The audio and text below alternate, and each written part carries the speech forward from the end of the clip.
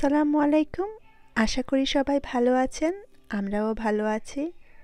আর আমি আমার গত আপনাদের সাথে শেয়ার করেছিলাম যে আমি ওয়াশিংটন ডিসিতে বেড়াতে আসছি, এখানে এক সপ্তাহের মতো থাকব। এটা ছিল দুপুরবেলা, আজকের লাঞ্চ রুমেই অর্ডার করে নিয়ে আসছি। বাচ্চাদেরকে নিয়ে দেখা যায়, সবসময় বাইরে বের হয়ে খাওয়াটা পসিবল হয় না। লাঞ্চ শেষ করে আমরা চলে যাব আমাদের হোটেলের থার্ড ফ্লোরে ওইখানে গিয়ে চেক করব কি কি অ্যাক্টিভিটিস রয়েছে। সো প্রথমে এসে দেখলাম ওইখানে একটি জিম ছিল। আমি যেহেতু এখন শুধু লাঞ্চ করে আসছি, সাথে আমার বাচ্চারাও ছিল সেই জন্য জিমটা আসলে স্কিপ করেছি। কিন্তু এখানে আরও দুইটি জিনিস ছিল, একটি হচ্ছে সোনা আর অপরটি হচ্ছে স্টিম রুম দুইটি আমি খুবই এনজয় করেছি। স্টিম রুম থেকে বের হওয়ার পরে আমার মনে হয়েছে স্কিনের পোরগুলি খুব সুন্দরভাবে ওপেন হয়ে গেছে। সো আমি এখন একটু স্কিনের যত্ন নিয়ে নেই। আমার সাথে এই যে ফেস মাস্কগুলো সাথে করে নিয়ে আসছিলাম। আমি যখন দেখা যায় কোনো ভ্যাকেশনে যাই, আমি ব্যাগের মধ্যে সবসময় কয়েকটি মাস্ক রাখি। কোনো কোনো সময় লাগানোর সুযোগ হয় আর কোনো কোনো সময় হয় না, তবে এইবার হয়েছে। আর এই মাস্কগুলো আমি টার্গেট থেকে কিনেছিলাম। এক প্যাকেটে ছয়টি ছিল আমার মনে আছে। টেন মানে নাইন সামথিং ছিল নাইন ডলার সামথিং এইরকম। যে কোনো জিনিসেরই আপনি যখন যত্ন নেবেন, সেটা বাড়ির ক্ষেত্রেই বলেন আর গাড়ির ক্ষেত্রেই বলেন, যত্ন নিলে জিনিসটা আসলে অনেক বছর ভালোভাবে থাকে। সো আমাদের স্কিনের ক্ষেত্রেও একই জিনিস হয়, স্কিনটাকে যখন সুন্দরভাবে মেনটেন করা যায় বা নিজেকে যখন মেনটেন করা হয়, তখন আসলে ওভারঅলে আপনার স্কিন বা নিজেকে দেখতে ভালো দেখায়।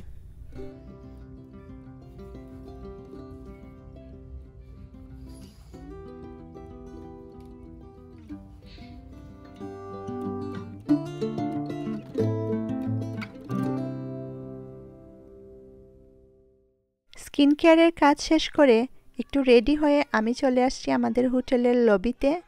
আর এটার ইন্টেরিয়রটা খুবই সুন্দর ছিল সেই জন্য আমি আপনাদের সাথেও একটু শেয়ার করছি। এই ধরনের ভ্যাকেশন আমার খুবই পছন্দের, এই কারণেই। গড়ে থাকলে দেখা যায় কখনোই রিল্যাক্স হয় না। যদিও বা কোনো কোনো দিন আমি একটু প্ল্যান করি যে আজকে আমার কোনো রান্না বান্না নেই, কোনো কাজ নেই, আমি একটু বসে বসে রিল্যাক্স করব। কিন্তু গড় আসলে গড়ই।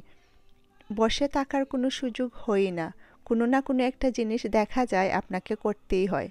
সেই জন্য এই ধরনের হোটেল ভ্যাকেশন আমার খুবই পছন্দের। কারণ আমি এখানে থাকলে মানে ওই যে গড়ের যে চিন্তাটা, ওইটা মাথায় থাকে না। সো একটু রিল্যাক্সভাবে বসে নিজের জন্য একটু মানে নিজেকে একটু সময় দেওয়া যায় বা একটু রিল্যাক্স করা যায়। সেই জন্য আমার এই ভ্যাকেশনটা খুবই পছন্দের। হোটেলের আরেকটি সুবিধে ছিল সেটা হচ্ছে শপিং মলটা হোটেলের সাথে একদম কানেক্টেড ছিল। অর্থাৎ এই ডোর দিয়ে বের হয়ে এই হোটেলের আপনি সরাসরি শপিং মলে চলে যেতে পারবেন। শপিং মলটির নাম হচ্ছে fashion centre at Pentagon City DC বা ভার্জিনিয়ার ওই সাইটে যারা থাকেন, তারা অবশ্যই চিনবেন। আমি আসলে টুকিটাকি কিছু শপিং করার জন্য বের হয়েছিলাম। মেনলি আসলে বলতে গেলে উইন্ডো শপিংই কিন্তু কিছু কিছু জিনিস পরে আমার এত পছন্দ হয়ে গিয়েছিল, আমি কিনেই ফেলেছি। প্রথমে আমি চলে আসছি মেসিসে আমেরিকাতে যারা আছেন, তারা সবাই কম বেশি এই স্টোরটির সাথে পরিচিত। আমি এখন আছি মেসিসের শুর যে সেকশন ওইখানে। অনেক সুন্দর সুন্দর ডিজাইনের নতুন নতুন স্যান্ডেল আসছিল। সো আমি ওইগুলা দেখছিলাম আর ট্রাই করছিলাম।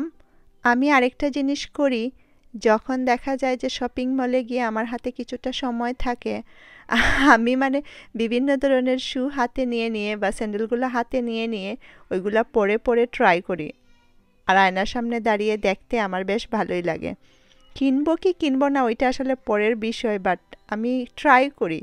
আমার মতো এই অভ্যাস আপনাদের কার কার আছে আমাকে কমেন্ট করে জানাবেন। শপিং করতে করতে আরেকটা জিনিস করে নেন, যারা এখনও পর্যন্ত আমার চ্যানেলটি সাবস্ক্রাইব করেননি তারা অবশ্যই সাবস্ক্রাইব করে নেবেন।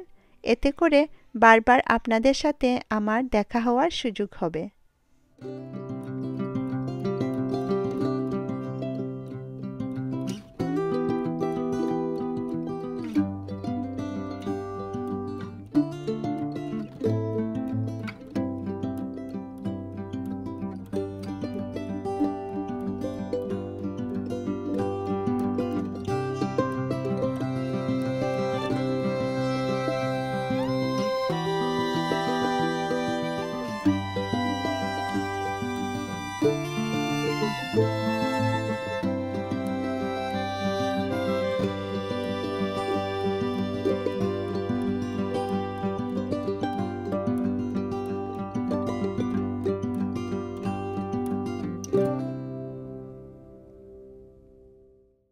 মেসিসের কাজ শেষ করে এখন আমি চলে আসছি আরেকটি স্টোরে এটার নাম হচ্ছে এন টেইলর আমি আসছি মূলত ওদের যে ক্লোথিং সেকশনটা আছে, ওইটা একটু চেক করব।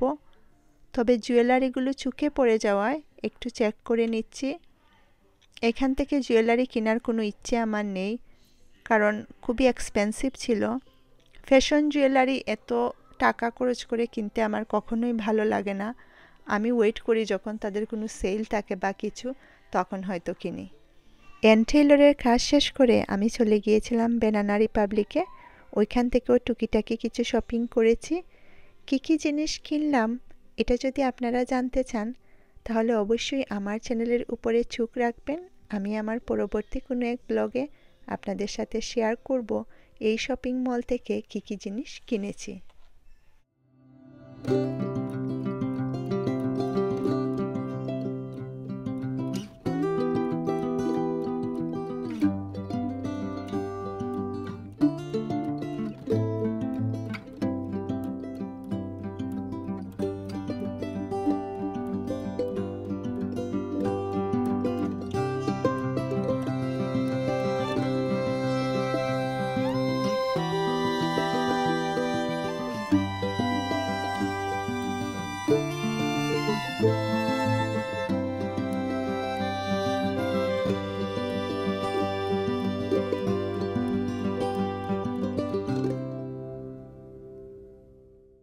শপিং করতে করতে আমার প্রায় বিকেল হয়ে গিয়েছিল।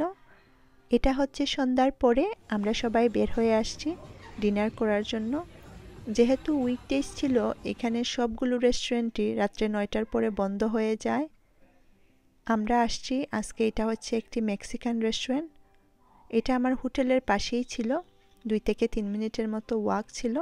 এখানেই আজকে ডিনারটা করে নিব। মেক্সিকান খাবার আমার খুবই পছন্দের। স্পেশালি তাদের যে ফিশ টাকোসগুলো আছে, সাথে বিভিন্ন ধরনের চিপস এবং সালসা, ওইগুলো আমি খুবই পছন্দ করি। এই জন্য দেখা যায় আমরা যখন কোনো ভ্যাকেশনে যাই, অধিকাংশ সময়ে আমাদের বিভিন্ন মেক্সিকান রেস্টুরেন্টে খাওয়া হয়। তবে আজকের যে রেস্টুরেন্ট এইটা আমার বেশি পছন্দ হয়নি। তাদের সালসাটা ছিল ভালো, কিন্তু টাকোসগুলো বেশি মানে ভালো লাগেনি।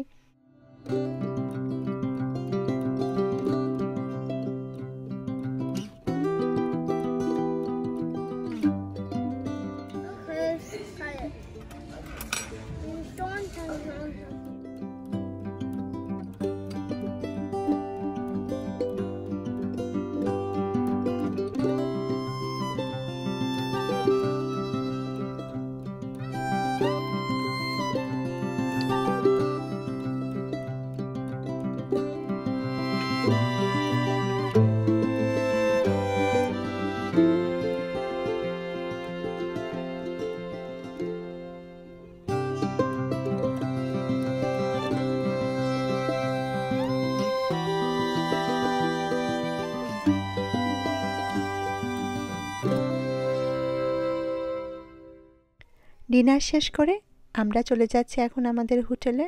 আজকের মতো আর এখানেই বিদায় নিয়ে নিচ্ছি। আবার দেখা হবে নতুন কোনো আয়োজনে। সেই পর্যন্ত সবাই ভালো থাকবেন। আল্লাহ হাফিজ।